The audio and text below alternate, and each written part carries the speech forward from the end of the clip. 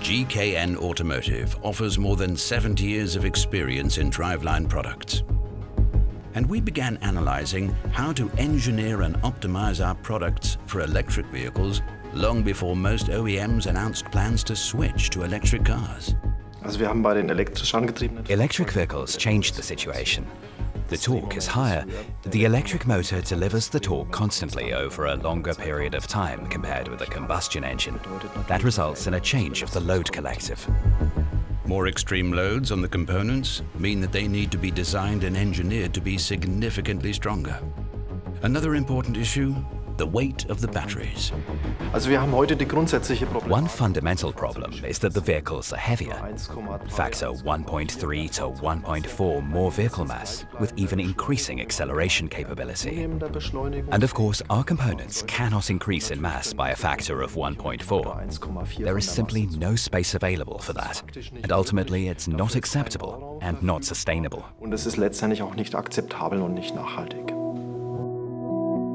The biggest challenge is to be as weight and cost efficient as possible. The size of the powertrain is a crucial aspect of this mission. So the goal is always to offer the smallest possible solution that has the required safety reserve.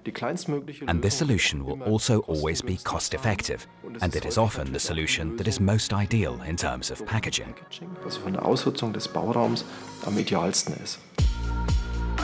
To find the most efficient solution, we use data from our components that have been validated over decades.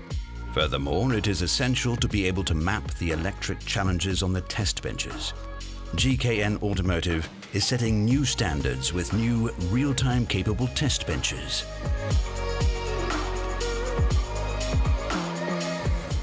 Compared to conventional alternating load tests, we are now able to test time data provided by the customer on a one-to-one -one basis.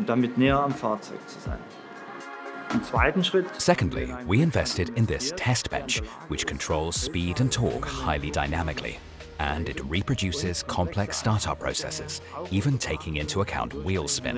This test bench is unique. The control quality is excellent. It is a unique feature for GKN Automotive. Ein Alleinstellungsmerkmal für die GKN Automotive.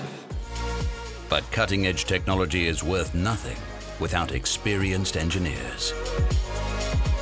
It requires a high level of expertise in our team to adjust the signal during setup of the test. Doing this correctly means that the signal gets closer and closer to the target value, which of course gives you the opportunity to reproduce reality very precisely. Indeed, this requires valid data. The biggest obstacle is selecting the relevant data and reducing it to the essentials. A complex matter. Teamarbeit ist hier ganz äh, entscheidend. Teamwork is crucial here. It begins with the calculators who do the data pre-assessment and data reduction. Also, the evaluation. Do the components match our predictions?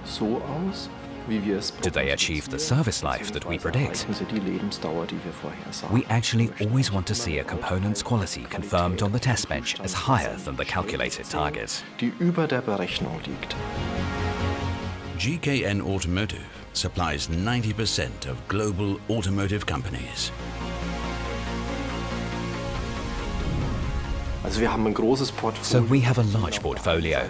We serve very powerful SUVs, as well as autonomously driving small vehicles. In other words, we cover a large spectrum, and we can ultimately make an assessment on this basis. GKN Automotive will continue to invest to maintain market leadership in the future. The next step will be real-time abrasion testing. Ich denke schon, dass über die nächsten Jahre I think that over the next few years there will be a clear shift towards more simulations. Real-time, real-time fatigue, real-time endurance. Customers will significantly reduce their own vehicle testing, so a lot will depend on the quality of our work. Also er wird uns die Verantwortung hier ein deutliches Stück weit übertragen.